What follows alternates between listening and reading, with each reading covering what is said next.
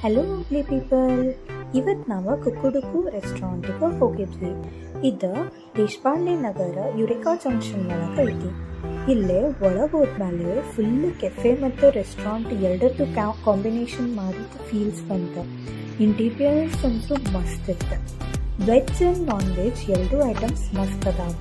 And speciality ಏನಂದ್ರೆ ಶಾರ್ಮಾ ಮತ್ತು ಕಬಾಬ್ ವೆಜ್ನಾಗ ಐತಿ. ಭಾಳ ಮಸ್ತ್ ಐತಿ. ಆಮೇಲೆ ಇಲ್ಲಿದ್ದ ಇಂಟೀರಿಯರ್ಸ್ ನೋಡ್ರಿ, ಎಲ್ಲ ಕಡೆ ಮಸ್ತ್. ಈಚ್ ಕಾರ್ನರ್ ಬಹಳ ಚಲೋತಂಗ ಅವ್ರ ಯುಟಿಲೈಸ್ ಮಾಡಿ ಚಲೋ ತಂಗ ಐಡಿಯಾ ಮಾಡಿ ಮಾಡ್ಯಾರ.